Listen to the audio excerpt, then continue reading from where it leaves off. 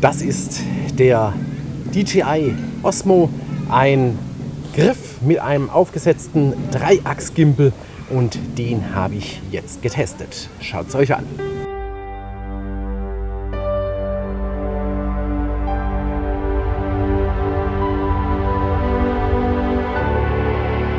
Der DJI Osmo ist im Prinzip relativ simpel zu bedienen. Er hat relativ viele Griffe hier direkt am Griff dran. Das zeige ich jetzt einfach mal hier. Da gibt es einmal hier die Möglichkeit, den Gimbal in der horizontalen zu verändern, als auch in der vertikalen zu verändern. Ansonsten ist natürlich die Kamera immer ausgerichtet. Drücke ich einmal hier vorne, beziehungsweise zweimal hier vorne, richtet sich automatisch das Gimbal neu aus. Drücke ich dreimal hier drauf, dann komme ich in den Selfie-Modus und kann mit mir selbst mich unterhalten und mit dreimal draufdrücken wieder zurückschwenken auf die Gegenrichtung. Ein weiteres Mal hat sich's gezeigt, Theorie ist grau. Draußen hatte ich massive Probleme mit der App. Problematisch war einmal, dass ich hier die iOS-App ja nicht mit Vorschau betreiben kann. Das ist auch so geblieben. Tatsächlich ist mir ja aber draußen auch die Android-App abgeraucht. Auf gut Deutsch, ich hatte einen Absturz und danach wollte sie nicht mehr starten.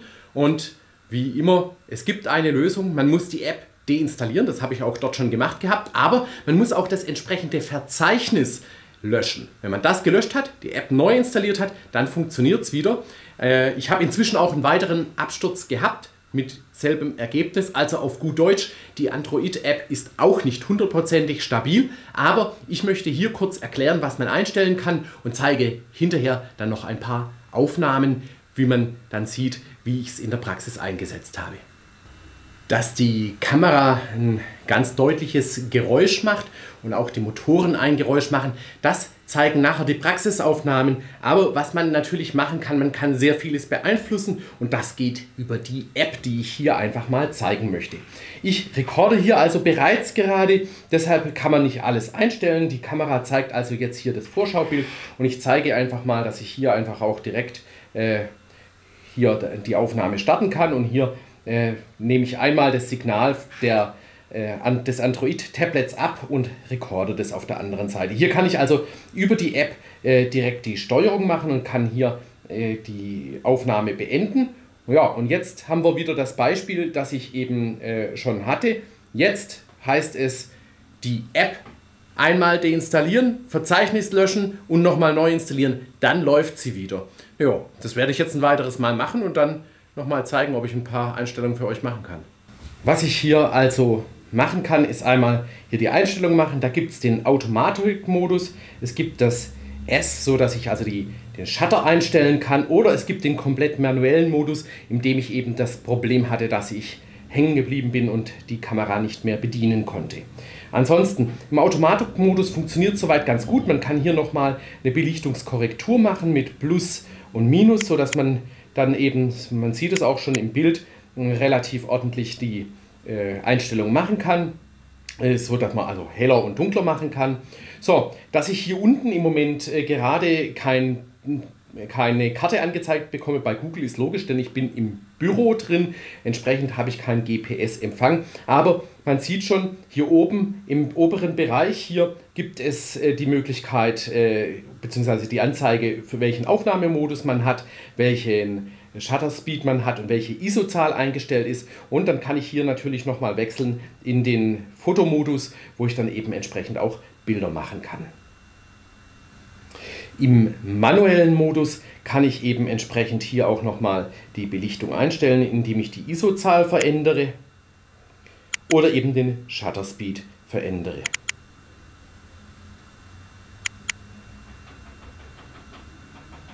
Wie die Aufnahmen geworden sind, sowohl im manuellen Modus als auch im automatischen Modus, Indoor, Outdoor, Schwachlicht, das zeige ich euch jetzt. Das ist also der sogenannte Selfie-Modus. Mit dem kann man direkt so filmen. Ist ganz prima. Wenn man jetzt nochmal dreimal die Taste auf der anderen Seite drückt, dann dreht die Kamera automatisch um. Nochmal dreimal gedrückt, dreht sie wieder zu mir zurück und damit habe ich auch schon wieder alles. Was ich im Moment sehe, ist, die Kamera ist eindeutigerweise in der Überbelichtung drin. Wenn ich jetzt hier hingehe, dann merkt man, es wird sogar noch eher etwas schlimmer.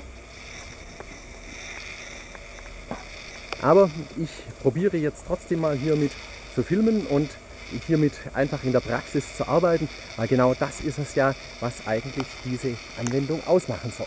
Also direkt so filmen, wie ich es jetzt im Moment mache und man sieht schon, da kommt man sehr schnell in Überbelichtung rein. Zwei Blenden sagt mir die Anwendung auf dem iPhone jetzt. Wie gesagt, eine Vorschau sehe ich nicht und an die Einstellungen komme ich so leider nicht mehr ganz ran. Aber wir, ich mache jetzt einfach noch ein paar Praxisübungen.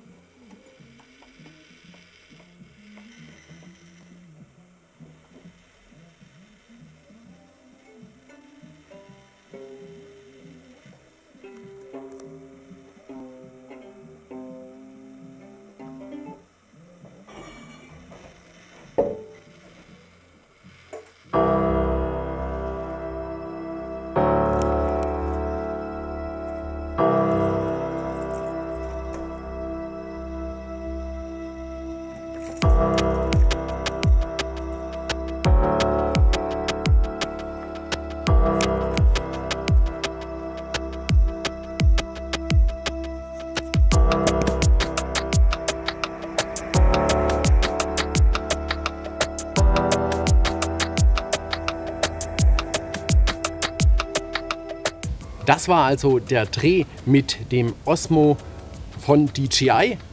Mit dem gibt es ganz eindeutig noch Probleme, sowohl mit der iOS als auch mit der Android-App.